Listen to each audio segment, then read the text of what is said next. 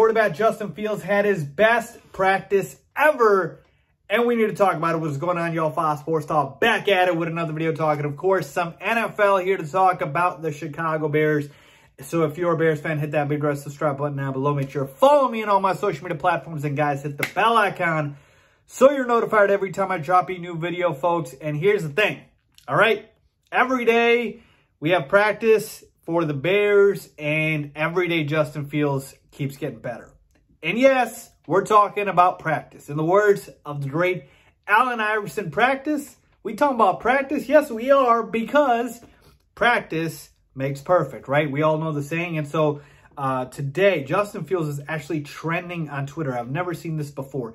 This man was trending on Twitter because the Bears had joint practice with the Miami Dolphins, and he was absolutely lighting up the Dolphins. All right, he was absolutely lighting up in practice. I'm talking about uh, masterful in the red zone. I'm talking about literally his only incompletion being a drop. Just absolutely flawless execution of the offense. And the reason I want to talk about this is not just to highlight how good Justin Fields is progressing along in his plan so far in practice, but also the fact that this is exactly the type of performance that can throw a wrench into Nagy and Pace's plans. You see, I told you the entire time Nagy and Pace are going to want Justin Fields to just sit while they let Andy Dalton start and, you know, play out the season so that they can buy themselves more time in their positions. But Justin Fields said, oh, no,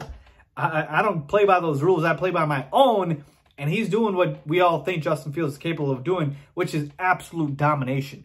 So all the beat reporters at practice, everybody that I was reading about that was covering that practice said Justin Fields was the best player on the field, and it wasn't close.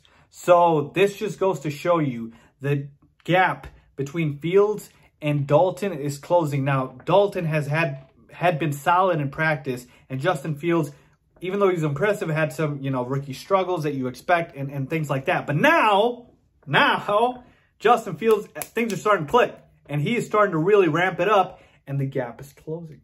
And so now the media is really going to start to get to Matt Nagy and tell him, listen, when you start Justin, is there any chance you start Justin? So the pressure is going to build and cook. And now you just wait. If Justin Fields lights it up in preseason, oh boy, it is about to get real tense in that Bears coaching room because they know they can't sell us Andy Dalton for much longer. Justin Field is going to play a lot in preseason, and if he lights it up, I'm talking about just dominates.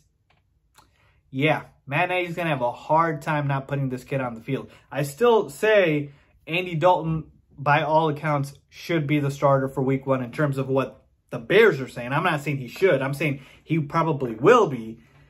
But Justin Fields is coming. He's coming. And so I wanted to give you guys this update that, listen, every one of you guys, myself included, has a date in mind, right? Maybe it's week four, maybe it's week eight, week 10. Well, week 10, the Bears have a bye. But week 11, it's coming. And one of my bold predictions was Justin Fields would force would literally force the Bears to start him because Andy Dalton would either be horrible or Justin Fields would be that damn impressive. And it looks like we might see that scenario play out. So let me know what you guys think. Leave a comment down below. If you guys agree or disagree, the gap is closing. It's going to get real tense. I'm excited to watch Justin Fields in preseason. Are you?